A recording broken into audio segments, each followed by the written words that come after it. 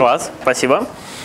А, я рад снова быть в МГИМО. Я рад сегодня вам представить вторую лекцию в рамках наших встреч о работе аналитиков и об инвестиционном банкинге в частности.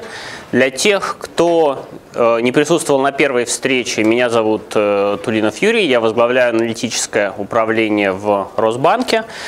И если первая лекция, которая была в МГИМО две недели назад, она была достаточно вводной, сегодня будет лекция достаточно прикладной о, о том, как анализировать корпоративную отчетность, как анализировать анализировать корпоративную облигацию. Мы с вами попробуем себя сегодня в разных ролях, в роли аналитика, в роли инвестора.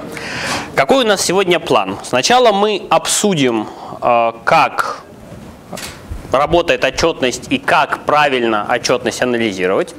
Потом применительно к финансовой устойчивости компании или к тому, что называют кредитному качеству, какие бывают важные вещи, кроме отчетности, на которые нужно обращать внимание – Потом мы с вами попробуем себя в роли инвесторов. И, наконец, э, попробуем это все соотнести с э, деятельностью аналитика, с работой аналитика, какие-то сделать общие для нас с вами выводы. А, многие из вас, когда пойдут, если пойдут по аналитической стезе, они, скорее всего, предпочтут работу с акциями. Так уж повелось, что аналитика по акциям считается более интересной, более денежной, что ли, чем аналитика по облигациям. Но даже если так произойдет, то все равно информация по облигациям будет вам полезна, потому что сами аналитики по акциям часто бандовой частью пренебрегают, а там на самом деле есть много чего ценного. Наконец, как э, и на первой лекции, я призываю вас очень активно участвовать, потому что для тех, кто будет активно участвовать, есть самые разные прикольные бенефиты. Учитывая, что собралась очень разная, как и на первой лекции, публика, у меня для начала к вам вопрос. Вот, допустим, перед вами положили финансовую отчетность компании, которая по толщине, там, может быть, 50 листов, может быть, 15, может быть, 100 листов. И вам, вас попросили рассчитать какие-нибудь финансовые коэффициенты для того, чтобы понять, эта компания устойчивая или нет. Знаете ли вы уже сейчас какие-то коэффициенты финансовые, которые можно рассчитать из этой отчетности? Да, можно посчитать. Угу. И беда, отлично. Что еще? NPV, ERR. Ну, это больше для конкретных проектов, скорее, ну, допустим. Leverage. Рентабельность, PE. Альфа можно посчитать. Угу. Зависимость. Зависимость кого от чего? Финансовая зависимость. Кого от чего? Виду автономия, наверное. структуру активов, посмотреть э, структуру капитала, я имею в виду, Угу. собственного заемного. Угу. Хорошо, понял. Кредитоспособность. Вы имеете в виду какой конкретный индикатор? Ну, вообще, с- вот, а, может ли компания в дальнейшем, может ли компания для того, чтобы расти, они берут займы, привлекают дополнительные инвестиции. И сможет ли эта компания в будущем потом покрывать кредит, Угу. Хорошо. Соотнош... Какой показатель еще раз? Net Debt EBITDA. Отлично. Вы много назвали показателей, и некоторые из этих показателей мы будем сегодня в дальнейшем упоминать в части лекции. Но на самом деле до того, как вы начали эти показатели рассчитывать из этой вот 100-страничной отчетности, скорее всего, для начала вам придется эту отчетность чуть-чуть скорректировать.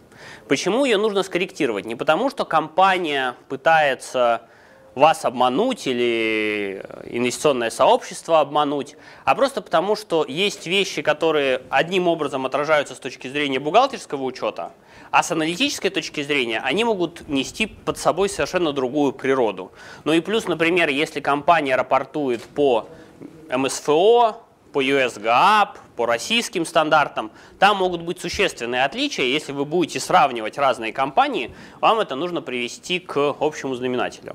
Когда я вспоминаю свой опыт первоначального работы, первоначальной работы с финансовой отчетностью, мне это в чем-то напоминает, если так можно сравнить, первое свидание. Почему первое свидание? Потому что в чем-то, скорее всего, некоторые вещи будут приукрашены по сравнению с истинным положением дел. Более того, чем дольше будешь знакомиться с отчетностью, чем больше будешь знакомиться с компанией, тем больше будешь открывать для себя каких-то новых сторон.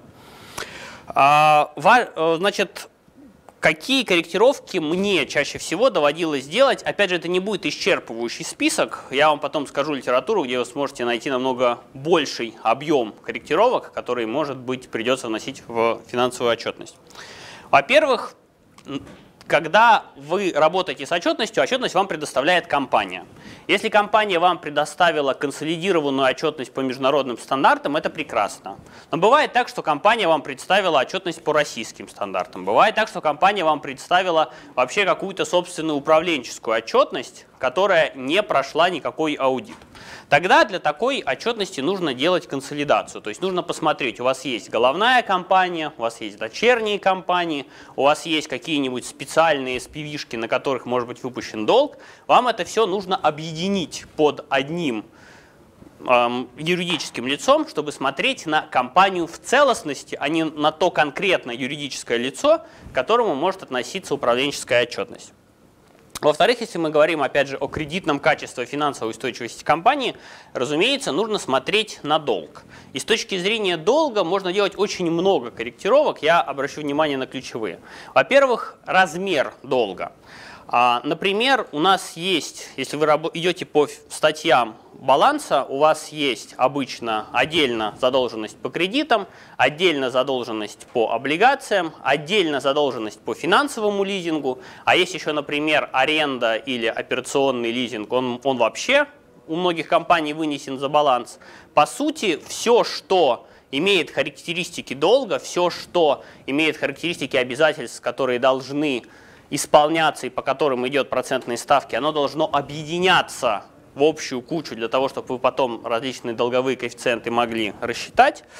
А, с 2019 года будет некоторое изменение стандартов международных, после которого операционная аренда, а, она будет отражена на балансе, но это означает, что, например, если вы будете соотносить отчетность, которая опубликована в 2019-2020 году, с отчетностью, которая была опубликована в 2017-2018 году, то для целей сопоставимости вам самим придется операционную аренду дополнять обратно. Наконец, если что еще может включаться в долг? Например, какие-то условные обязательства. Допустим, компания функционирует, но против компании есть судебный иск. И этот судебный иск, по которому компания должна будет выплатить какую-нибудь допустим, крупную сумму, если вы предполагаете, что, скорее всего, этот судебный иск придется исполнять, то эту сумму, опять же, для аналитических целей вы можете добавить в сумму долга, чтобы посмотреть более такой консервативный вариант, что будет происходить с финансами компании. Другой аспект, на который важно смотреть, когда мы говорим о долге, это распределение между долгосрочным долгом и краткосрочным долгом. Здесь бывают какие аспекты? Допустим, у компании есть облигации, которые сами по себе долгосрочные. Например, погашение через 5 лет, через 10 лет.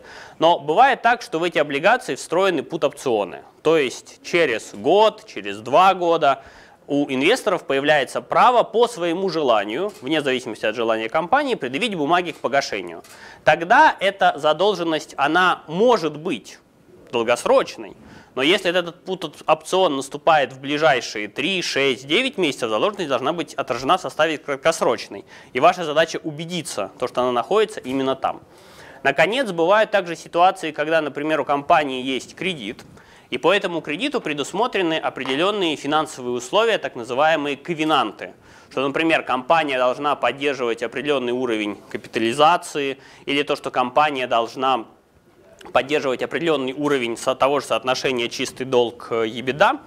А если компания нарушает, то тогда у кредитора появляется право досрочно долг потребовать.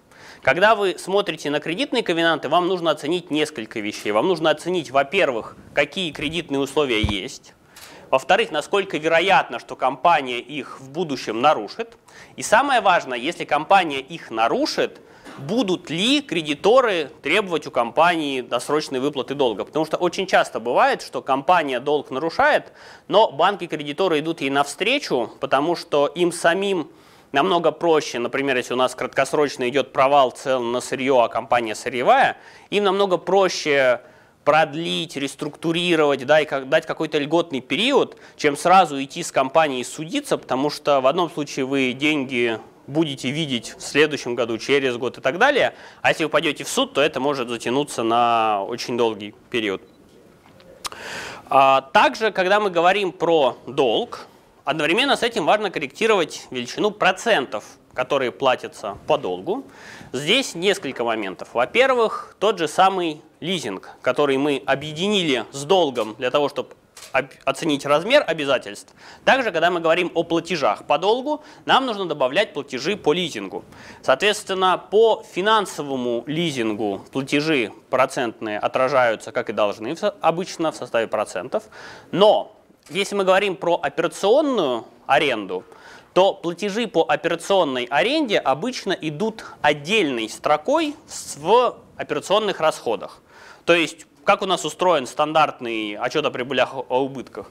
Выручка, себестоимость, валовая прибыль, операционные расходы, а, операционная прибыль, проценты, налоги, чистая прибыль. Соответственно, должны проценты быть в процентах, проценты по операционной аренде, а они сидят выше, они сидят на уровне операционных расходов. Соответственно, когда вы встречаетесь с таким случаем, вам нужно расходы по операционной аренде разбить на две компоненты – то, что относится к процентам, то, что относится к амортизации, амортизацию прибавить к амортизации, проценты убрать ниже и учесть вместе с другими процентами. Также бывают случаи капитализации. Например, компания реализует какой-то крупный инвестиционный проект, и для реализации этого крупного инвестиционного проекта занимает много долга. Поэтому процентные расходы сейчас у компании очень большие, но само основное средство, сам актив, будет введен в эксплуатацию позже, и только позже от него пойдут какие-то выгоды.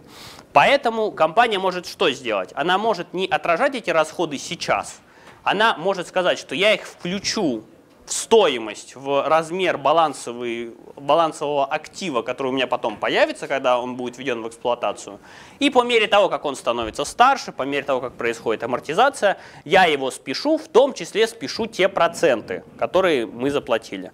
Опять же, для бухгалтерской отчетности это вполне может работать, но с аналитической точки зрения, если компания такие выплаченные проценты не отражает как проценты, а причисляет к сумме инвестиций, мы для аналитических корректировок должны это вычленять и отражать с другими процентами. Также в зависимости от того, в какой юрисдикции находятся компании, какую а, отчетность они ведут, например, если они ведут отчетность э, US GAAP, то для целей отчета о движении денежных средств э, проценты отражаются обязательно в составе операционного денежного потока. Если она ведет отчетность по МСФО, то компания может выбрать, это операционный денежный поток или это финансовый денежный поток. Соответственно, если вы будете сопоставлять компании, которые существуют в разных юрисдикциях, вам нужно будет привести их к общему знаменателю, в частности, перенести проценты, если они вдруг находятся в финансовом потоке, в операционный. Еще один момент, который вам придется делать э, практически обязательно, если вы будете работать с финансовой отчетностью, уже звучало не раз сегодня понятие ебеда, вам придется при расчете вот этого основного показателя финансовой устойчивости, вам придется его очищать от всяких единоразовых, не денежных, не операционных статей. Как понять, какие вам строчки брать и какие строчки не брать, можно использовать несколько подходов. Во-первых, один подход. Например, вы встретили какую-то строчку в отчете прибылях и убытках, и дальше вы думаете, когда эта строчка отражается в отчете о движении денежных средств, то это поток какой? Операционный или инвестиционный? Например, то, что касается переоценки основных средств, это будет отражено в инвестиционном денежном потоке. Поэтому от того, что не операционное, вы очищаете. В других ситуациях можно проще, просто использовать здравый смысл. Например, если если компания не ведет, если у нее основная цель деятельности не перепродажа основных средств, то любая переоценка, выбытие, а, повышение стоимости основных средств, если оно отражено вдруг в составе операционных доходов или расходов, это нужно убирать. Наоборот, если, например, компания ведет операционную деятельность и у нее в силу уже отгруженных товаров появляется дебиторская задолженность, компания уже выручку отразила. И если вдруг, например, потом у покупателя ухудшилось финансовое положение, он не сможет заплатить, компания создает резерв, и из-за этого дебиторская задолженность уменьшается, тогда это операционный поток, тогда действительно это пусть и не материаль, пусть это не денежная переоценка, она все равно связана с операционной деятельностью. То есть здесь очень много зависит от того, какой конкретно характер несет эта переоценка, что за ней стоит. Опять же, тут нету какого-то единого правила, то есть никогда вы не найдете общего определения, как рассчитать EBITDA, и разные аналитики, разные рейтинговые агентства, разные компании используют разные методологии, поэтому вам нужно скорее выработать какую-то свою методологию и ее придерживаться по всем компаниям, с которыми вы будете работать, чтобы у вас данные между всеми компаниями были сопоставимы. Опять же, если вдруг кого-то заинтересует, мы с вами сейчас пробежались очень быстро только по малому числу корректировок, Допустим, вы можете в Гугле вбить э, э, Financial Statements Adjustments, и, например, Moody's или S&P. У вас, скорее всего, в открытом доступе будут э, некоторые методологии, не знаю, как это возможно, но они все еще лежат открытым доступом э, в том же поиске Гугла. Вы их сможете найти и более детально изучить, какие корректировки в финансовую отчетность надо вносить. Также очень активно на втором уровне CFA рассматривается эта тема. Хорошо. Теперь вы внесли корректировки в отчетность, и вам нужно перейти, собственно, к расчету финансовых коэффициентов. Какие финансовые коэффициенты лично мне кажутся наиболее важными, когда речь заходит о такой вещи, как оценка финансовой устойчивости компании? Во-первых, это показатель свободного денежного потока. То есть вот лично для меня, если попросят сказать, какая из трех форм отчетности – баланс отчета о прибылях и убытках или отчет о движении денежных средств наиболее важна, наиболее цена, я всегда начинаю с отчета о движении денежных средств, потому что это реальный кэш. Это то, сколько компания заработала в операционной деятельности по факту сколько она инвестировала в приобретение основных средств. И по сути, если у компании эта величина устойчиво отрицательная, то компании придется регулярно занимать. У нее просто не будет другого выхода, кроме как занимать. Если эта величина устойчиво положительна, то тоже возникает вопрос, за счет чего она положительна. Может быть за счет того, что компания не доинвестирует. Может быть за счет того, что компания очень жестко отжимает поставщиков, поэтому у нее получается хорошо управлять собственным оборотным капиталом. Так что здесь нужно смотреть и за тем, как он меняется, и за тем, что находится внутри. Можно также соотносить его, например, с величиной долга или с величиной активов. Тоже очень похожий коэффициент – это соотношение долга и так называемого дискреционного денежного потока – а именно свободного денежного потока за вычетом дивидендов. Почему его рассчитывают? Потому что если компания регулярно генерирует положительный свободный денежный поток, то, разумеется, у акционера появляется стимул эти деньги из компании как-то извлечь, поскольку компания работает хорошо, почему бы ему как акционеру не получить от этого какой-то доход. Соответственно, корректируют на величину дивидендов, чтобы посмотреть, допустим, компания зарабатывает за год сколько-то за вычетом инвестиций, за вычетом э, дивидендов, а сколько лет при таком заработке у нее уйдет на то, чтобы погасить весь долг. Если мы перейдем от отчета о движении денежных средств к отчету о прибылях и убытках, то здесь, разумеется, мы встретим показатель чистый долг к EBITDA, а, а именно долг за вычетом денежных средств, поделенный на EBITDA, самый классический, самый распространенный показатель оценки кредитного качества, сколько компания заработала согласно отчету о прибылях и убытках и сколько у нее обязательств за вычетом денежных средств. Здесь очень важно понимать, что, допустим, у вас выработается какая-то своя любимая методология, как считать показатели. Но если мы, опять же, говорим о кредитных ковенантах, то есть о определенных условиях, выданных одновременно с получением кредита, то там может быть прописана своя методология. Там всегда прописано, что, например, EBITDA считается определенным образом, чистый долг считается определенным образом. То есть если, например, вы будете оценивать, насколько риск существует того, что компания пробьет ковенанты, вам нужно смотреть не на свою методологию, а на ту методологию, которая прописана в кредитных соглашениях. Также э, очень ценный показатель – это соотношение EBITDA и процентных расходов. Условно, допустим, тело долга компания сможет рефинансировать, а хватает ли у компании операционных доходов для того, чтобы платить проценты по долгу? Если это соотношение большое, то замечательно, а если вдруг это соотношение оказывается ближе к единице, то это, скорее всего, значит, что у компании какие-то прямо серьезные проблемы, если даже на платежи по процентам у нее денег не хватает. Также очень распространенный и очень понятный показатель – это рентабельность по EBITDA, соотношение EBITDA и продаж. Грубо говоря, насколько устойчиво тот уровень операционной прибыли, который генерирует компания, и насколько растут операционные расходы по мере того, как она либо наращивает бизнес, либо сокращает свой бизнес. Также один очень простенький показатель – это соотношение тех денежных средств, которые есть у компании, с тем краткосрочным долгом, который компании нужно погасить грубо говоря, насколько у компании уже сейчас есть какой-то запас денежных средств, который даже если что-то пойдет не так с бизнесом, ей уже позволит долг погасить, или вдруг компании все равно придется на долговые рынки выходить.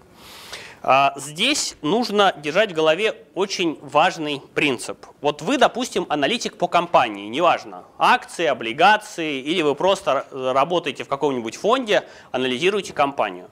Вы как аналитик должны отвечать и должны понимать расчет абсолютно каждой цифры, которую вы публикуете в своих отчетах, которую вы используете в своих рассуждениях. Ну вот как, например, вам, если вы сейчас возьмете терминал Bloomberg или возьмете какую-нибудь крупную базу данных типа S&P и, и скажете, дайте нам, дайте нам значение показателя EBITDA по всем российским ритейлерам. Скорее всего, при каких-то базовых знаниях Bloomberg вы эту информацию выкачаете минут за 10.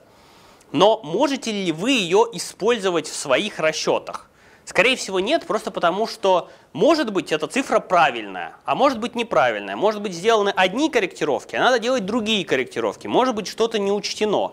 Грубо говоря, вы, конечно, можете это делать для того, чтобы какую-то информацию получить быстрее, если у вас задача, например, за 5 минут определить, как дела у всех российских ритейлеров. Но если мы говорим о каком-то глубоком регулярном анализе, то вам все равно придется разрабатывать какие-то свои методологии, какие-то свои подходы и придется следить за каждой цифрой, которую вы используете. Опять же, если вдруг вы аналитик по компании, и к вам придет клиент и спросит, у меня вот получилась EBITDA такая-то, а у тебя почему-то в два раза больше. Вы ему не сможете сказать, я его Блумберга взял. Нет, ну сможете, конечно, но он вряд ли к вам потом еще раз э, придет с каким-то вопросом. Теперь у меня к вам предложение попробовать то же самое на небольших примерах. Пример первый – Перед вами, я сейчас выключу свет, чтобы было лучше видно. Перед вами вытяжка из финансовой отчетности компании Евраз. Консолидированная аудированная отчетность за первую половину 2018 года. Я предлагаю вам попрактиковаться просто потому, что это, наверное, самое базовое, что может быть. Это когда человек приходит на собеседование или ищет работу в аналитической стезе, и его просят рассчитай показатель EBITDA или, как в данном случае, рентабельности по EBITDA. Вот у вас есть такие цифры. Рассчитайте, пожалуйста, и скажите мне, как, какая у компании Евраз рентабельность по EBITDA была в первой половине 2018 года, и как она соотносится с рентабельностью по EBITDA в первой половине 2017 года. Если не помните, не знаете, как рассчитывается показатель EBITDA, опять же, можете загуглить, э, там расчет не такой сложный. Главное, чтобы вы попробовали и попробовали в ситуации, когда несложно, неплохо ошибиться.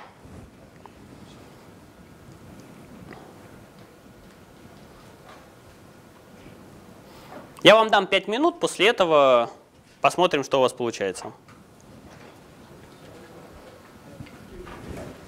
Если вдруг у вас возникают вопросы, то вот эта информация взята из отчета о прибылях и убытках, вот эта информация взята из отчета о движении денежных средств. То есть одно не является продолжением другого, я просто должен был отразить определенную цифру, которую вам потребуется в расчетах. У нас, у нас в принципе же нету процентов по платежей по процентам. Нету.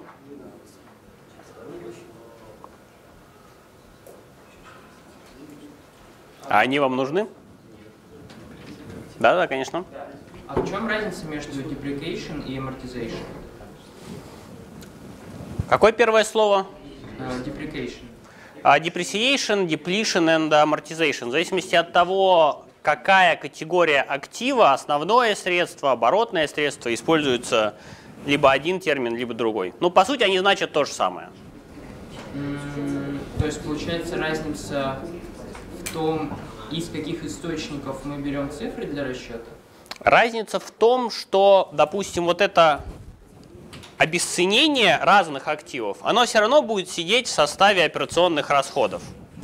Но чаще всего в составе вот этих вот двух категорий. А, Просто в зависимости от того, опять же, какой актив, оно называется либо одним, либо другим словом. Сама сумма будет идентичная вот здесь и вот здесь. Просто, опять же, она здесь будет, она в отчетности не раскрывается, но проходит по отчету о движении денежных средств. То есть сумма будет одинаковая? Да. Окей. Хорошо, пять минут прошли. У кого как получилось, э, какая рентабельность по EBITDA в первой половине 2018 года? 1468. Так, 1408 это вы называете сумму EBITDA. Окей, какие еще варианты? Аналогично. Логично, да. Это Тысяч- в 2018 году, а в 2017 412. Нет, а в 17 там будет 316, потому что 48 и минусом 2. Нет разве сейчас? Хорошо, вот допустим, 1400, сколько вы сказали? 68. Вы как считали? Ну, получается, чистую прибыль плюс э, амортизация и плюс вот э, ну, налог вот этот, income tax. Решил. Смотрите, самый простой способ, я специально убрал все, что идет ниже операционных расходов, просто потому что, в принципе, вот этой информации и информации об амортизации вам более чем достаточно для того, чтобы просчитать показатель EBITDA. Если вы идете со стороны чистой прибыли, то вам нужно кроме налога скорректировать еще на кучу других вещей, в частности на те же проценты, которые внутри EBITDA сидеть не должны. А если вы идете с уровня операционной прибыли, то вы берете вот эту цифру 1731, добавляете к ней обратно амортизацию 285, которая сидит где-то вот здесь и является неденежной статьей. И плюс вы, может быть, захотите скорректировать на какие-то из вот этих строк. На какие бы из этих строк вы скорректировали? Impairment of assets. Impairment of assets, замечательно. Какие еще? Foreign exchange gains. Foreign exchange gains, хорошо. Что-нибудь еще может быть? Может быть нет. Как, вот, например, строчка убыток от продажи основных средств. Вы бы на нее скорректировали? Это будет ликвидация, поэтому наверное, тоже нужно скорректировать. Угу. Хорошо, тоже скорректировали. Как делает сама компания? Сама компания берет прибыль операционную, восстанавливает величину амортизации, дальше корректирует на величину foreign exchange gains, impairment of assets, loss on disposal of, PPE. Они также еще корректируют на социальные и расходы на инвестиции в социальную инфраструктуру. Но тут опять же это желание компании, вы можете, если считаете нужным на эту строчку корректировать или не корректировать. Компания делает, соответственно, 1731 плюс 285 с обратным знаком плюс 13, плюс 4, плюс 20, минус 147, поскольку этот доход сидит уже, его нужно убрать, а этот расход сидит, его нужно восстановить. И сама компания получает цифру 1906. Соответственно, поделив это на выручку 6343, получается рентабельность по EBITDA 30%.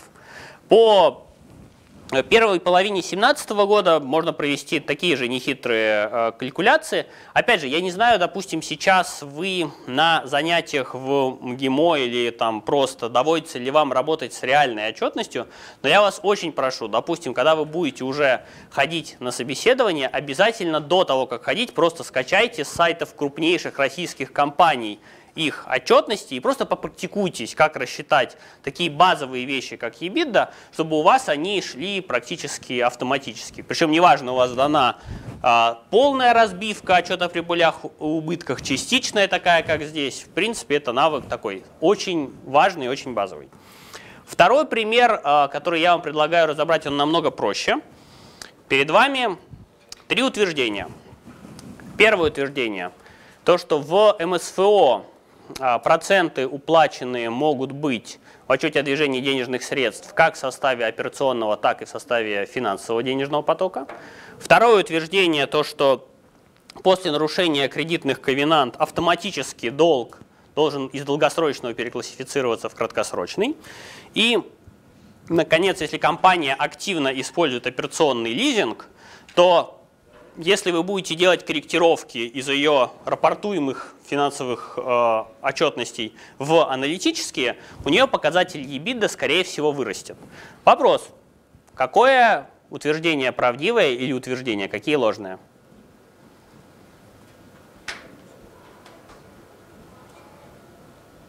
Опять же, высказывайте мнение, у нас тут не экзамен, я не буду вас запоминать и Олегу Печкову рассказывать, кто из вас неправильно ответил. Да, прошу. Ну, может быть, второе, что нарушение э, кредитных ковенантов автоматически ведет э, э, к реклассификации долга. Uh-huh. Ведь э, тут все зависит от э, кредитора. Э, как вы говорили, он может пойти навстречу, если э, ну, на рынке какие-то особые условия. И, возможно, там условия никак не поменяются, возможно, поменяются. Uh-huh. Хорошо, то есть это утверждение ложное, а какое правдивое? Соответственно, первое и третье правдивое. Или там тоже какие-то есть?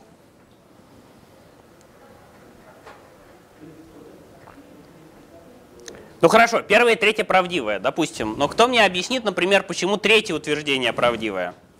Как так получается, что если компания использует операционный лизинг, и мы начинаем корректировать ее отчетность в аналитическую, то ее показатель EBITDA, скорее всего, вырастет? Какие есть версии?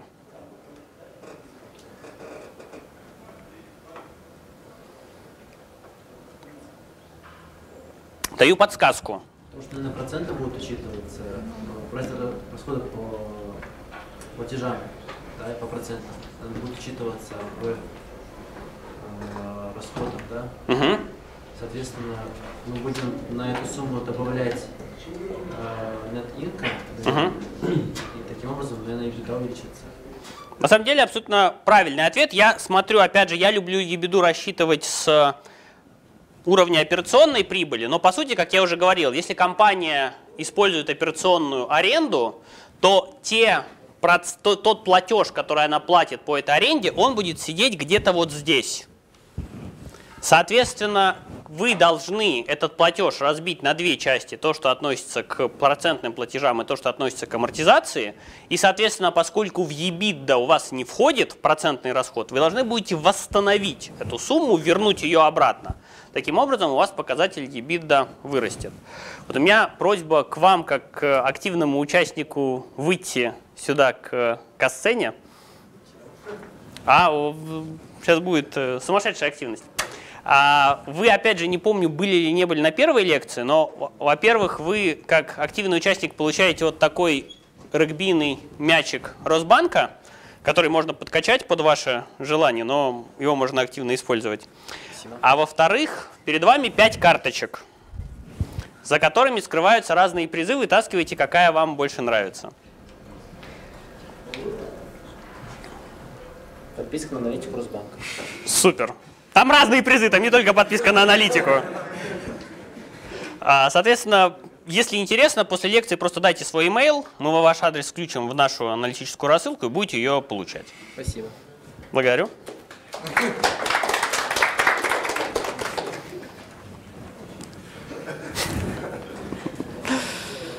Хорошо. А мы с вами разобрались с тем, как делать какие-то базовые вещи с финансовой отчетностью. Но, разумеется, на финансовой отчетностью мир не заканчивается. Вопрос. Если, допустим, вы рассчитали все основные финансовые показатели по компании, какая еще может быть важная информация, которую вам по компании хотелось бы знать, чтобы понять, можно ли в нее инвестировать или нельзя? Что еще может быть ценного? Структура акционеров. Структура акционеров, отлично. Вообще участвуют в каких-то судебных делах или нет? Потому что Угу. Хорошо, судебные процессы. Репутация. Репутация, отлично. Ну, можно вообще еще посмотреть, э, в принципе, рынок растущий в стагнирующий. Угу. Отрасль. Поправка. Отрасль, отлично. Мне кажется, можно еще как историю финансовых э, платежей по годам просмотреть динамику и рост или падение, то есть Угу. перспективу в будущем. Хорошо, что еще? То есть ситуация в самой компании, может там пришел кто-то новый управление. Менеджмент, акционеры, прекрасно. Возможно, это просто относится к отчетности на структуру капитала. Что еще раз? Структуру капитала, соотношение собственного к... э, Не-не, опять же, вы это поймете из отчетности. Да. Ну, можно еще посмотреть, что сама компания записывает в свои риски э, прогнозирующие, Мгм. операционные. Отлично. Вы очень много что ценного назвали, и я опять же не претендую на то, что то, что на этом слайде, это какой-то исчерпывающий список. Это просто какая-то ценная информация, на которую я люблю обращать внимание. Во-первых, например, когда вы рассчитали финансовые коэффициенты, вы можете найти еще кучу информации в СМИ или в рейтинговых релизах, которая вам позволит этот расчет сделать более точным. Например, вы рассчитали а, показатели на 31 декабря, а в СМИ прошла информация, что в феврале, в марте компания взяла какой-то крупный кредит. Вы сможете на эту информацию скорректировать. Или, например, почитав в рейтинговом отчете то, что компания сделала какую-нибудь крупную сделку после отчетной даты, вы также на это сможете скорректировать. Поэтому прежде всего вам нужно следить за информацией, которая в целом есть по этой компании в любом источнике, будь это Bloomberg, будь это ведомости, будь это релизы самой компании или будь это рейтинговые отчеты. Также э, очень важный аспект, который вы упоминали, его можно собирательно назвать как качество корпоративного управления. Кто управляет компанией? Насколько собственник активно вмешивается в дела менеджмента? Насколько он давлеет? Или все независимы? Как часто руководство компании переизбирается? А, насколько у них есть интересы каким-то образом манипулировать компанией или отчетностью в, свои, в свою пользу? В конечном итоге за решением, которое принимает компания, стоят люди, поэтому хорошо бы понимать, кто эти люди, кем они являются. Также очень важный момент – это история. Грубо говоря, кем являются эти менеджеры, кем является собственник, как он заработал свои деньги, какие практики, какие подходы он в этом использовал. Менеджеры, например, насколько менеджер любит реструктурировать долг. Есть такие менеджеры, которые приходят в одну компанию, реструктурируют долг, приходят в другую компанию, реструктурируют долг. И так, ну просто это их любимый способ повышать э, стоимость компании, списывая долги. А, Есть, например, акционеры, которые, когда ситуация хорошая, они любят очень активно выкачивать дивиденды. А есть акционеры, которые не любят выкачивать дивиденды. Тоже надо смотреть за тем, как компания себя вела, как ее руководство и владельцы вели себя, когда ситуация была хорошей, когда ситуация была плохой, когда ситуация была нейтральной. Может быть, вы увидите там какую-то ценную информацию. Также очень ценно следить за тем, какой сейчас является стратегия компании, что компания хочет достичь, и насколько вообще это реалистично, и если это, например, реалистично, то как компания это сможет сделать? За счет своих денег, за счет заемных денег, потому что, например, просто так взять и увеличить долю рынка там, не знаю, с 10% до 20% невозможно, если вы не будете сильно инвестировать. А инвестировать вы можете либо за счет своих денег, либо заемных. Поэтому вам нужно либо больше зарабатывать, а если это нереально в таких объемах, тогда вам нужно будет больше занимать, и ваши показатели как-то изменятся. Здесь, опять же, очень рекомендую, если вас эта тема интересует, можете в том же гугле вбить Fundamentals of Credit Analysis. Есть отдельная книга большая, посвященная кредитному анализу и то, какие аспекты кредитного анализа важны. Есть отдельные вытяжки, которые из этой книги публикует тот же CFA или тоже агентство S&P. Просто для себя почитайте. Очень интересный принцип. Для меня это что-то аналогично вопросу, вы встретили какого-то человека на улице, который попросил у вас денег. Что вы о нем захотите узнать? Скорее всего, очень многое. Вот также и о компании, в которую вы инвестируете в облигации, то есть, по сути, вы даете денег, вы, скорее всего, о ней захотите узнать очень многое.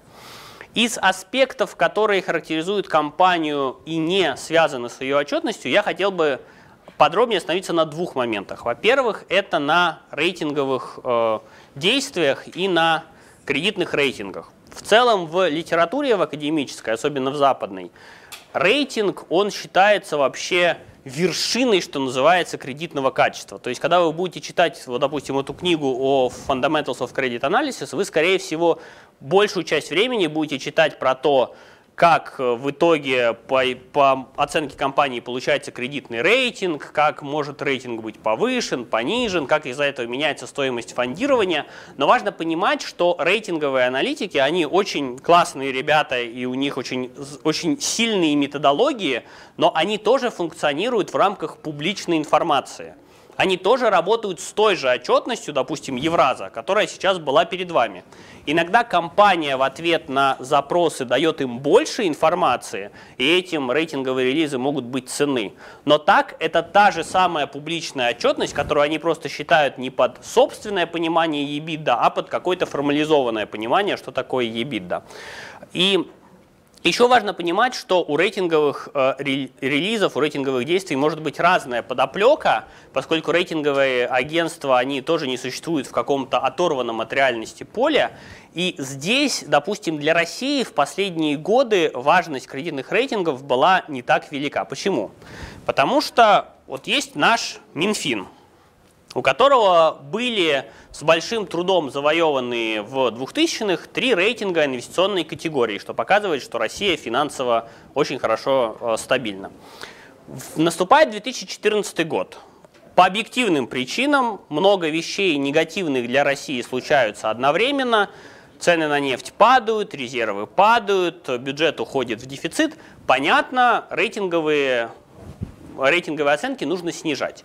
Поэтому одно из агентств, оно в октябре 2014 года режет Россию с BAA1 до BAA2, потом в январе с BAA2 до BAA3, но дальше идет очень большой вопрос, потому что порезать, например, с BAA3 до BA1, это означает, что была инвестиционная категория, а становится так называемая спекулятивная категория. И сразу это вообще другой пласт инвесторов, другой пласт отношения к компании, к эмитенту, к стране. И, соответственно, в январе было действие предыдущее понижение, в феврале они делают новое и режут с BAA3 до BAA1, соответственно, Россия становится страной со спекулятивным рейтингом. В этом плане меня э, злят сразу несколько вещей, и то, что в принципе Россия даже в 2014 году, даже в 2015 году с точки зрения любых суверенных метрик была более устойчивым, чем большинство европейских стран, у которых инвестиционные рейтинги.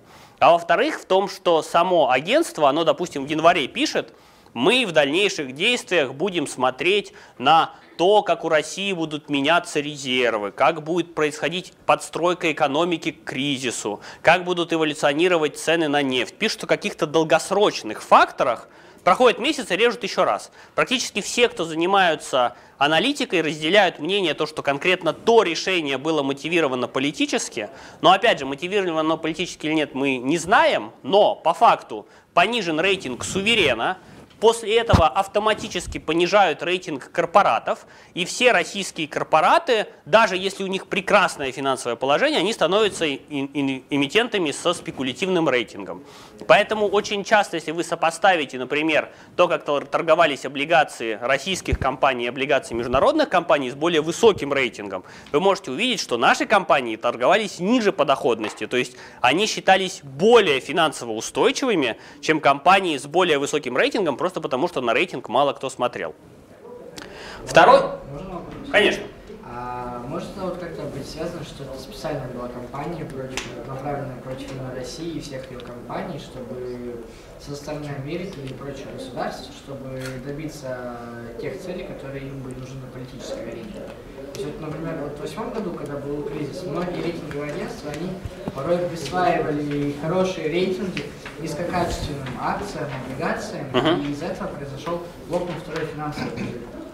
И получился такой сильный кризис во всем мире.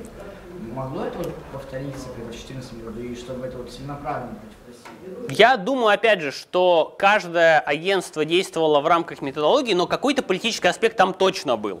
И опять же, там есть очень интересное расхождение, что два агентства, они Россию понизили до спекулятивной категории. Одно встало жестко, сказало, что нет, Россия по всем метрикам страна инвестиционная, мы этот рейтинг сохраняем. Прошло какое-то время, политика чуть-чуть стала сходить на нет, и рейтинги обратно в инвестиционные категории сейчас в России возвращаются. Так что, скорее всего, там какой-то аспект политический точно был. Опять же говорю, важно держать, что рейтинговые агентства, они не живут в вакууме, они тоже живут в реальном поле, и на них оказывают воздействие самые разные факторы. Второй аспект, о котором я вам хотел сказать тоже вдали от отчетности, это отношения с акционерами, и в частности на то, как свойственно или не свойственно акционеру компанию поддерживать. А здесь очень э, базовый принцип. Если у компании просто есть крупный какой-то акционер, это совершенно не значит, что компания будет получать от этого акционера поддержку, когда что-то пойдет не так. Почему? Потому что есть любой кредитный анализ распа- распадается на две части. Это способность платить и желание платить. Это две совершенно разные вещи. И, например, даже если у акционера может быть способность заплатить или помочь компании, он может этого не захотеть делать. Почему? Может быть потому, что если компания упадет или если какая-то конкретная компания не рассчитается по обязательствам, для акционера это не будет большой урон для его бизнеса, для репутации. Может быть потому, что если у компании что-то плохо, а акционер привык из этой компании извлекать много дивидендов, то значит у самого акционера финансовое положение становится хуже. Поэтому ему придется как-то ужаться, что называется, и в том числе компанию он поддержать не сможет. Здесь э, очень э, интересный пример, с которым я столкнулся, когда только начинал работать в 2008 году, это федеральная лизинговая компания, финансовая лизинговая компания ФЛК. Это компания, э, которая в 2007-2008 году выпустила два небольших выпуска еврооблигаций общим объемом 250 миллионов долларов. Она контролировалась э, государственной структурой ОАК. И когда она размещала облигации, было так называемое гарантийное письмо со стороны топ-менеджеров ОАК, со стороны а, Министерства транспорта о том, что мы будем оказывать компании финансовую поддержку, чтобы она могла рассчитаться по своим обязательствам. Дальше случился кризис 2008 года, и руководство и владельцы сказали, что компания занималась неправомерным отмыванием денег, из компании выводили средства, за- завелись несколько уголовных дел, и когда пришли кредиторы, сказали, что ну вы же обещали, вот есть гарантийные письма, в ответ сказали, ну вы понимаете, мы не можем отвечать за действия прошлого не- нехорошего менеджмента, поэтому мы поддерживать не будем.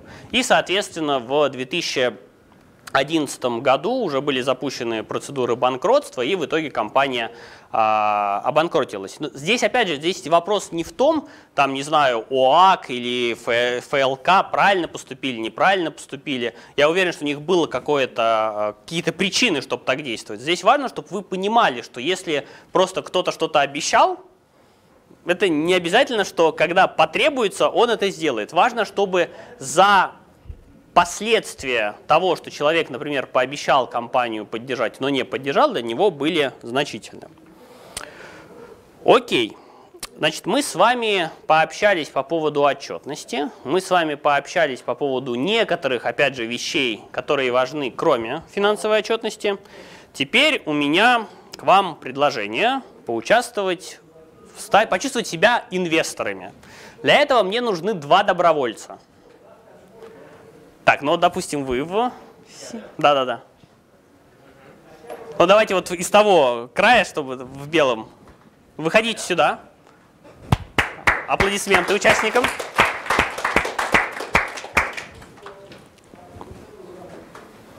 Вы можете здесь встать, потому что я вам буду кое-что сейчас показывать на экране.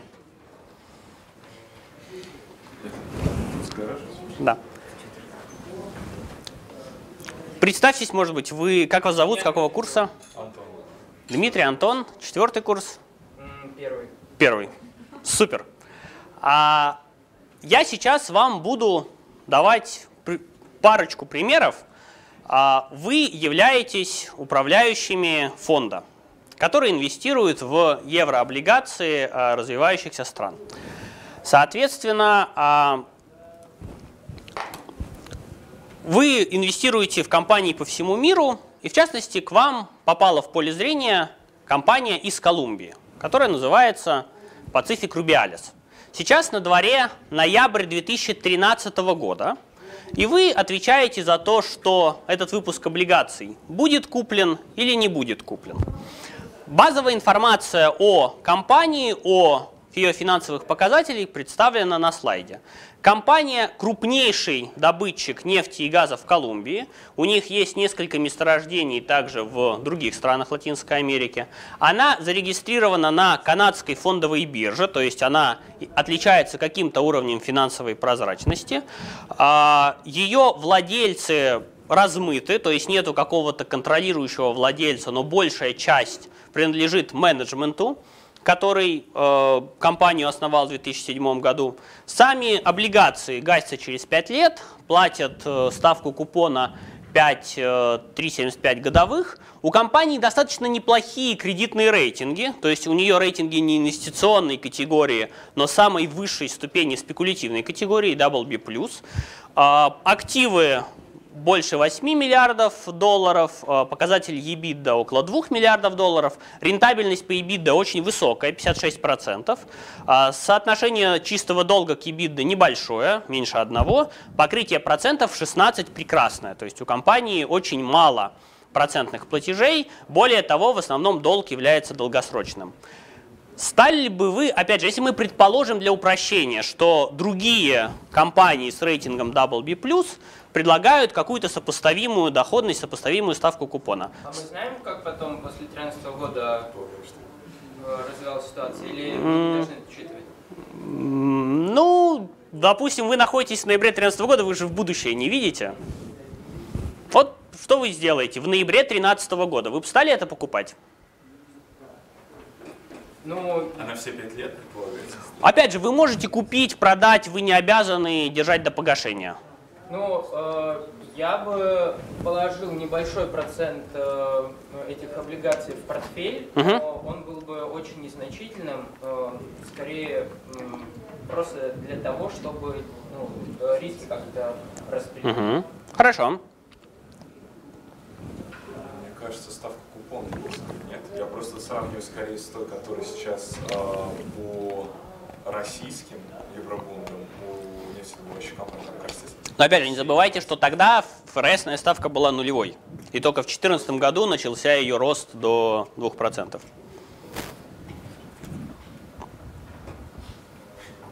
Но это не субордин. Это не суборды, это старшие. Старшие необеспеченные облигации. Ну, тогда, да, наверное, все-таки тогда сколько? 100 долларов еще. Отлично, отлично. Вы инвестировали в еврооблигации этой компании. Дальше вы прекрасно знаете, что цены на нефть упали. Она занимается добычей нефти и газа. Поэтому ее финансовые показатели начали ухудшаться. Был соотношение чистый долг и беда 0,9 стало выше 3,5. По- Покрытие процентов было выше 16 раз, стало ниже 4 раз. И цена на ее еврооблигации упала.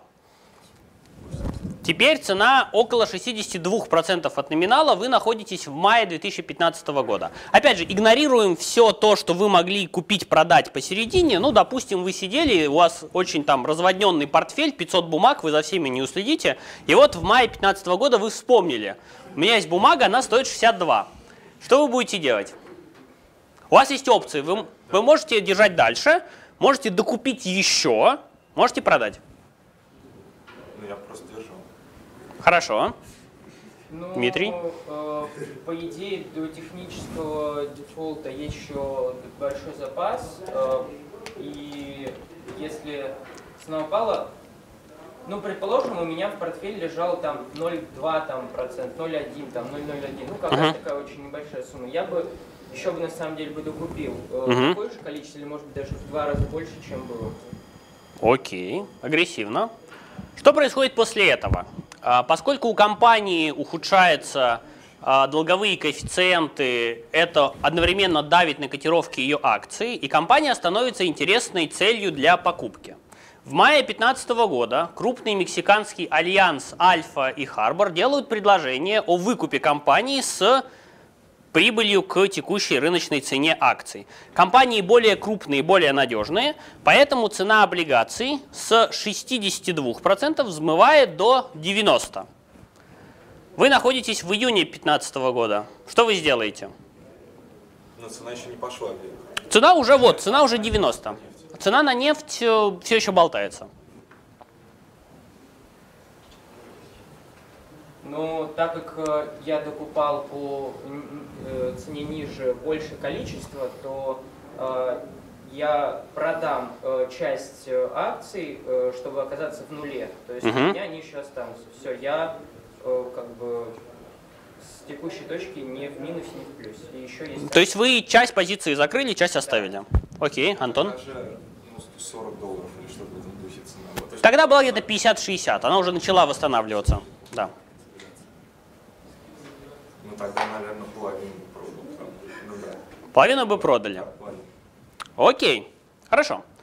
А, выясняется, что у этой компании есть группа акционеров, которая представляет интересы венесуэльских бизнесменов. И она говорит, что предложение плохое, предложение нечестное, потому что компания стоит на самом деле намного больше, и вообще менеджмент заинтересован принять предложение, потому что у них будет собственный cash-out в случае удачной сделки. И они говорят, мы будем сделку блокировать. И проходит два месяца напряженных переговоров, и Альянс Альфа и Харбор отзывает свое предложение. Цена облигаций падает с 90 до 70. У вас чуть-чуть еще осталось. Что делаете? До конца.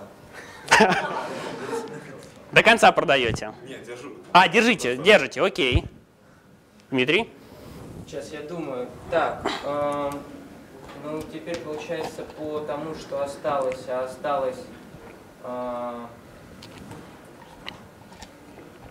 осталось, ну, так скажем, процентов где-то 70 от того, что я докупал, Угу.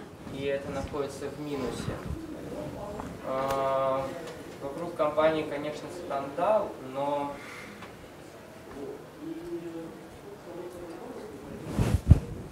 сейчас подумаем. Хотя тогда же как раз начинается весь ужас в Венесуэле. А все, что связано с венесуэльцами, тогда же э, сверхтоксично становится. Мгм. Нет, я все-таки полностью... Хорошо. Поменяли свое мнение, так? Сейчас, я, я думаю пока. М, Ну, если я, конечно, продам, то включу на 70% от докупа, а, докуп был на 60%. Да-да-да, на 62. Да. То есть, в принципе, я потеряю всего лишь 10% размер э, стоимости на 70% докупа.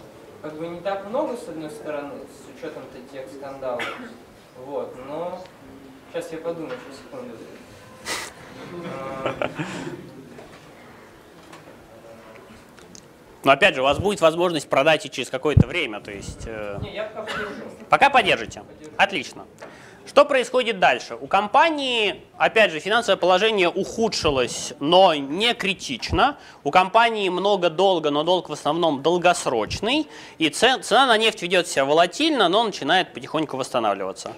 Но тем не менее, несмотря на это, где-то в конце 15-го, начале 16 -го года компания говорит о том, что она не способна исполнять свои обязательства, то, что она начинает э, процедуру защиты в рамках банкротства, облигации на этом валятся, потом еще есть куча там сумасшедших движений на том, что ее то одни купят, то другие купят, менеджмент ее выкупит или этот вот венесуэльские бизнесмены ее выкупят. В конечном итоге она делает конвертацию в акции по цене около 20% от номинала. Понятно, Понятное дело, что вы могли выйти в любой момент между тем, как цена была 70 и цена стала 20, но при прочих равных конец у этой истории не очень веселый.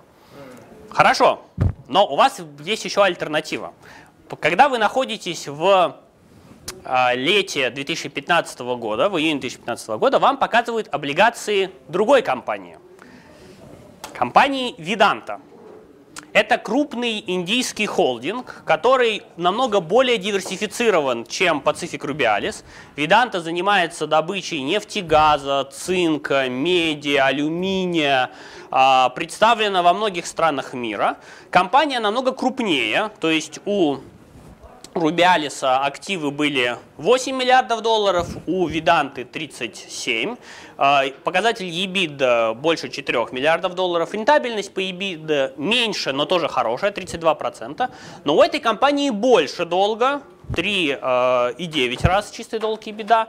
Покрытие процентов не очень высокое, прям таки, ну такое немножко пугающее, 1,8. Но зато эти облигации короткие, всего 3,5 года рейтинги терпимые, double B, и э, доходность 6,6%, она для этой срочности выше на полпроцентных пункта, чем другие сопоставимые double B облигации. Вы находитесь, опять же, в июне 2015 года, вы не знаете, что будет дальше. Вы бы такую облигацию купили?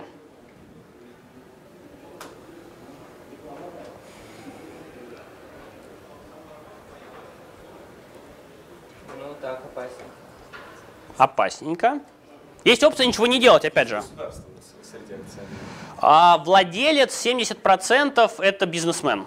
То есть э, остальное на бирже. Крупный индийский бизнесмен, не связанный с государством.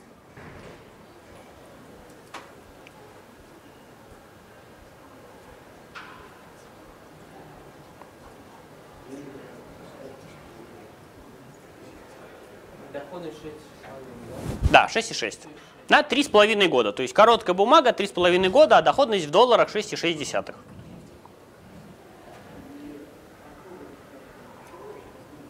Что скажете, Антон? Хорошо, допустим, да. Допустим, да. Отлично. Соответственно, Дмитрий воздержался, Антон чуть-чуть купил. Окей. Что происходит дальше?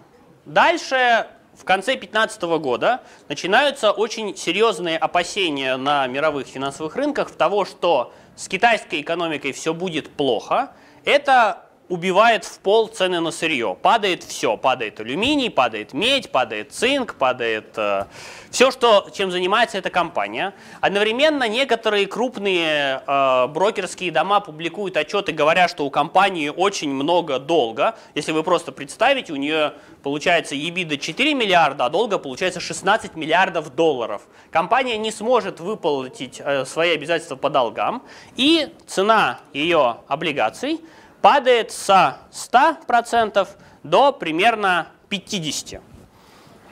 Соответственно, у вас есть выбор. Если вы не покупали, вы можете купить сейчас. Если вы держали, вы можете продать, ничего не делать или докупить еще. Это у нас апрель 16 А это январь 16 года. А, Ну, я бы купил. Так, вы бы докупили. Трамп же значит, понятно, что... Не, ну Трамп президент, он в ноябре. А, да. Тогда не докупил. Ну, а я бы зашел тоже, эм, тоже очень осторожно, на какую-то маленькую сумму тоже положил бы, но актив рискованный. Угу. Актив рискованный. Хорошо. Что происходит дальше? Дальше, во-первых, цены на сырье начинают потихоньку восстанавливаться. Во-вторых, сама компания проделывает очень большую домашнюю работу. Она сокращает капитальные расходы. Она откачивает дивиденды с одной дочки на уровень холдинга. Делает сделку слияния поглощения с другой своей дочкой, высвобождая кэш, который на уровне этой дочки до сих пор был э, забит. Она очень активно общается с инвесторами. Поэтому после того, как облигации упали на 50, они достаточно быстро восстанавливаются и уже в середине года торгуются по 80, а потом возвращаются к 100 и прекрасно себя до сих пор чувствуют. А, прежде всего, хотел поблагодарить еще раз э, участников. А, вы оба получаете наши два регбийных мячика и возможность вытащить какой-то приз, который не только подписка на аналитику. Не самый вот правый. Самый правый, окей. День в Росбанке. День в Росбанке, супер. А у меня карьерное интервью. Карьерное интервью, прекрасно. Соответственно, Соответственно, а, с вами мы встретимся и пообщаемся по поводу ваших карьерных интересов, приоритетов, что нравится, что не нравится. Может быть, что стоит в резюме писать, что не стоит писать, и как-то я вас попытаюсь ориентировать по вашей дальнейшей карьере. А, соответственно, с вами мы а, встретимся еще как минимум, когда я приглашу вас в Росбанк, встретиться с э, руководством инвестблока, с руководством различных департаментов э, инвестблока, чтобы вы могли посмотреть, кто они как люди, задать им какие-то вопросы, посмотреть, как это все вживую выглядит, а не просто на бумаге. Мм. Да, хорошо, спасибо.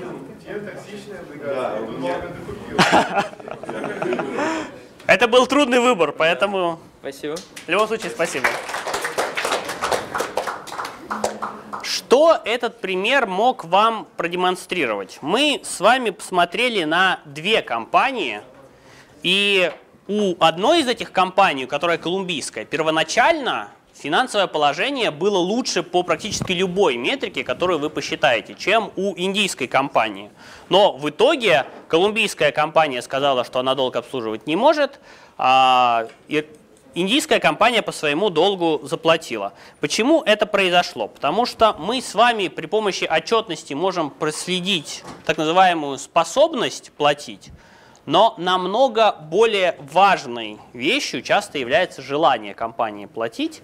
И опять же, если у компании, например, ухудшилось финансовое положение, но есть желание платить, то решений может быть много. Вы можете, вы можете перекредитоваться, вы можете попросить о каком-то льготном периоде, вы можете сократить расходы, вы можете попросить акционера помочь, вы можете деньги с дочек забрать, вы можете, не знаю, договориться о какой-то льготной реструктуризации. А если у вас желания платить нет, то любую плохую ситуацию вы можете использовать как способ сказать, все, конец света, мы списываем долг и до свидания.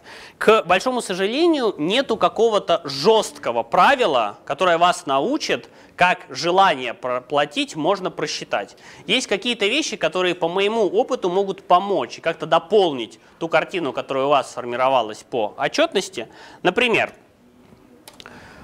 качество той отчетности, с которой вы работаете. А именно, вот допустим, вы смотрите на отчетность за 2017 год или за 2016 год, а как часто эта отчетность пересматривалась? Может быть, компания в апреле выпустила одну отчетность, в июне сказала, что отчетность была неправильная, мы ее переклассифицируем, в сентябре сказала, что еще раз мы что-то неправильно отразили. Насколько раз в отчетности появляются какие-то сюрпризы? Может быть, компания сказала, что мы в один год отразили одним способом, прошло полгода или год, она говорит, ой, вы знаете, там было все неправильно, на самом деле все вот так. Не очень хороший знак. Насколько показатели отчетности у компании соотносятся с индустрией? Может ли такое быть, что, например, у всей индустрии падают доходы, растет долг, падает рентабельность, и выходит компания во всем белом, говорит, у меня все хорошо. Я не чувствую кризиса, у меня доходы растут, у меня прибыль растет. Это, ну, может быть, так и есть, но за этим должно быть какое-то логическое объяснение. Если логического объяснения нет, возможно, что-то с отчетностью не так. Глубина раскрытия информации. Насколько самый болезненный аспект для многих компаний – это структура акционеров и те сделки, которые компания делает с акционерами. Соответственно, насколько детально компания пишет про структуру акционеров, насколько она прозрачна, насколько с акционерами происходят какие-то понятные сделки или непонятные сделки, опять же, насколько активно компанию используют как способ извлечь из нее деньги. А, другие интересы собственников и менеджеров. Очень э, простой критерий. Э, опять же, любой менеджер, любой собственник будет поддерживать компанию не просто потому, что он хочет поддержать все компании, а если будут какие-то прямые убытки, какие-то прямые последствия от того, что, например, какую-то конкретную компанию он не поддержит. Как, например, если у собственника несколько бизнесов, и он даст упасть одному, скорее всего, кредиторы будут более жестко подходить к оценке всех других его бизнесов. Или еще один очень интересный критерий. В финансовой отчетности, когда, например, компания выпускает облигации, в разделе связанных сторон будет информация о том, сколько из этого выпуска облигаций держат ее менеджеры. То есть вы, например, видите, что компания выпустила выпуск облигаций, а треть этого выпуска держат лично менеджеры. Это означает, что если компания сейчас совершит дефолт по своим облигациям, то менеджеры лично потеряют большую часть своего благосостояния. Это как-то сокращает автоматически риски того, что менеджеры захотят сами себя бить по карману, нежели искать какой-то альтернативный способ. А, история действий менеджеров и собственников, опять же, были ли они замечены в каких-то сомнительных действиях в прошлом? Были ли они замечены в попытках как-то отжимать кредиторов, реструктурировать долг, особенно в ситуациях, когда этого не требовалось? Если вы посмотрите историю, то часто это серийное. То есть, если человек любит реструктурировать долг, то он будет реструктурировать долг всегда. А насколько компания в какой-то кризисной ситуации адекватно себя ведет. Опять же, допустим, у компании падают акции в два раза, у компании цена облигаций уходит со 100% до 40%, компания этим обеспокоена. Она активно общается с инвесторами, она выходит на связь, она пытается сделать какой-то реалистичный и крупный план, как ситуацию исправить. Или компания говорит, нет, все нормально, сейчас нефть обратно вырастет к 120 и все будет прекрасно. Соответственно, в зависимости от этого у вас может быть какой-то сигнал. Компания вообще, она понимает, что происходит или не понимает. Ну и, наконец, по мере того, как вы будете работать, у вас будет вырабатываться просто аналитическое чутье, вы будете ходить на встречи с самыми разными компаниями, и вы будете просто смотреть на человека и думать, вот я хочу ему доверить свои деньги или деньги компании или нет. Очень часто этого оказывается достаточно, чтобы э, сделать тот или иной выбор. Как вы уже поняли, тот объем информации, который вам нужно держать в голове, когда вы анализируете компанию или пытаетесь понять, вы хотите инвестировать в эту компанию или нет, в облигации, он огромен. И здесь очень часто имеют дело какие-то детали, которые даже с первого взгляда могут быть э, непонятны. Вот, допустим, вы анализируете компанию, что важно знать, а в чем вы должны быть экспертом, если вы занимаетесь аналитикой, если вы говорите, я покрываю компанию определенного сектора. Вы должны знать, что происходит с отчетностью. Вы должны знать, что происходит с менеджментом, кто эти люди, откуда пришли, что у них в голове. Вы должны знать, что происходит, что было с компанией в прошлом, как это менялось с, ходом времени, как компания себя вела в плохие ситуации, в хорошие ситуации. Что происходит в отрасли, насколько компания выбивается из отрасли или насколько процессы, происходящие в отрасли, на компанию повлияют. Вы должны генерировать какие-то идеи, потому что, опять же, вот тот тест, через который проходили э, Дмитрий и Антон, он очень показательный, потому что очень многие фонды, общаясь с аналитиком, они хотят, чтобы аналитик им давал рекомендацию, купить или продать. Уже второй вопрос, почему, но, грубо говоря, многие клиенты считают, что аналитик без рекомендаций – это плохой аналитик. То есть вам нужно всегда говорить или иметь возможность объяснить, почему вы считаете, что актив хороший или плохой. Наконец, когда вы пишете по компании, вам нужно стараться, общаясь с клиентом, говорить что-то новое, потому что если, например, у вас есть крупный инвестор, который вкладывает в облигации Pacific Rubialis или Vidanti, у него есть отчеты рейтинговых агентств, у него есть презентации компании, у него есть э, на 500 страниц меморандумы, в которых самая детальная информация о компании изложена. У него есть возможность пообщаться с менеджером. Если вы придете к такому клиенту с компиляцией какой-то информации с сайта компании, с какими-то базовыми финансовыми коэффициентами, он это все уже видел.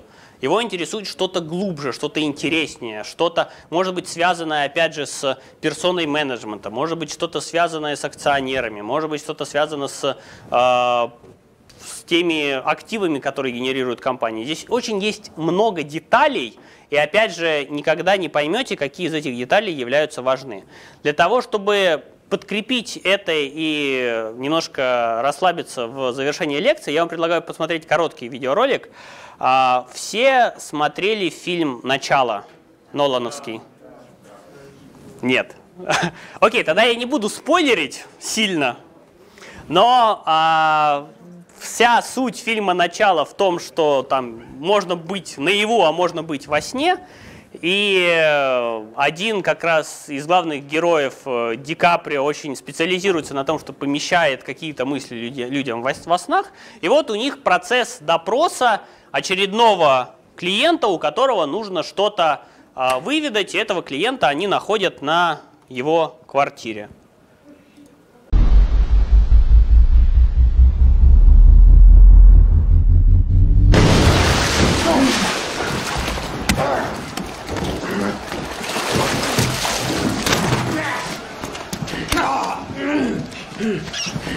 He's out!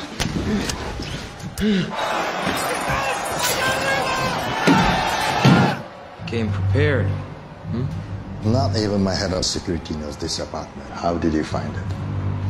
It's very difficult for a man of your position to keep a love nest like this secret, particularly where there's a married woman involved. Sure, never. Yet, here we are. With a dilemma. They're getting closer. You got what you came for. Well, that's not true.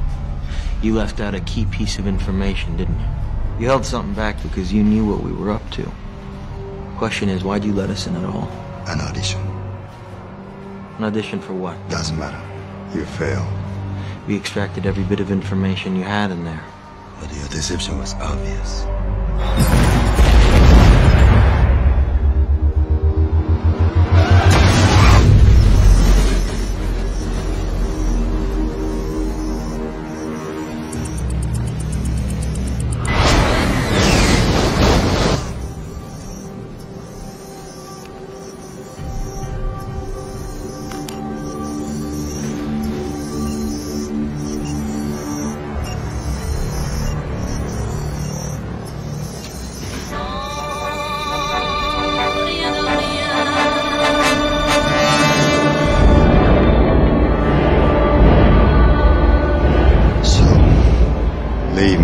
You don't seem to understand, Mr. Sider. That corporation that hired us, they won't accept failure.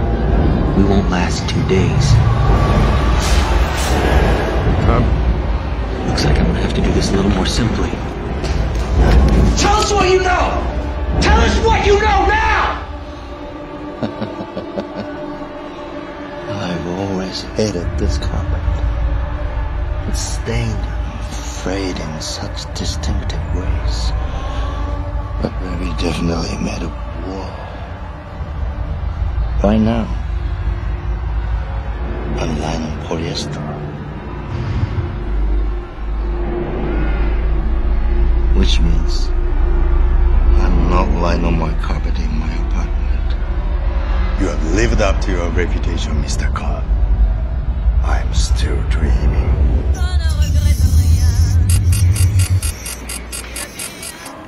Так же, как в этом фрагменте, для того, чтобы главный герой расколол, не нужно было вся вот эта обстановка, ему хватило какого-то маленького прикосновения к ковру, вы совершенно точно должны следить за огромным количеством информации, чтобы, может быть, та деталь, которую вы найдете либо в отчетности компании, либо не в отчетности, вам как раз поможет принять действительно правильное решение и понять, что происходит. Может быть, э, также, если вы будете думать про детали, вы в своей собственной жизни заметите какие-то детали и захотите что-то исправить. В общем, у меня на этом все. Большое спасибо вам за активное участие. Большое спасибо тем, кто пришел второй раз. А, 15 мая у нас третья э, лекция в МГУ. Если получится, там, насколько я помню, более позднее время, то обязательно приходите. Так. Ноября? ноября, ноября, 15, 15 ноября. Соответственно, здесь э, детали и того, где вы можете найти все э, лекции. Если у вас есть какие-то вопросы, обязательно подходите, задавайте. Как минимум, те, кто получили регбийные мячики, обязательно дайте мне ваши контакты, чтобы я мог с вами связаться. А так, большое вам всем спасибо.